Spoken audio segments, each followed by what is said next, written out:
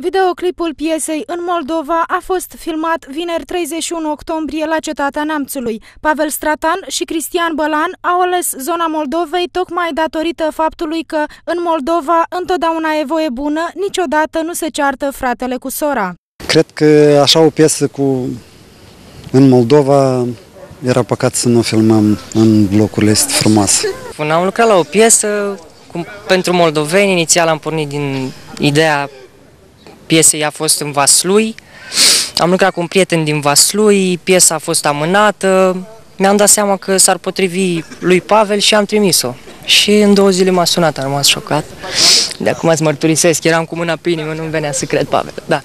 Uh, și am ales cetatea Neamțului pentru că e inima Moldovei, nu știu, sunt lucruri frumoase aici, avem ce să filmăm și e bine să aducem aminte tineretului și generației ăstea de lucrurile care au trecut. Artiștii au îmbinat în acest videoclip hip-hopul cu muzica populară. La filmări au contribuit și tinerii din cadrul ansamblului de dans popular Ozana din Târgu Neamț.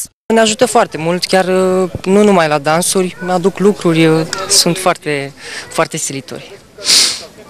Mulțumesc! De asemenea, în videoclipul piesei în Moldova vor fi incluse și secvențe cu un grup de turiști aflați în zonă. Lansarea pentru fani va fi în jurul datei de 5 noiembrie. Niciodată nu se ceartă fratele cu sora Sus paharele chiar de majoritatea zgoale pe jumătate Mă ud la partea plină și închin de sănătate Buna și și partea goală atunci când vei Mai ales între bărbați când vine vorba de femei Mulți mă întreabă dacă pot să povestesc Și înseamnă cum să faci și business-ul moldovenesc Dacă vreți să vă învăț, e simplu numai să vrem Creștem. Struguri, facem și în și la vindem banii dem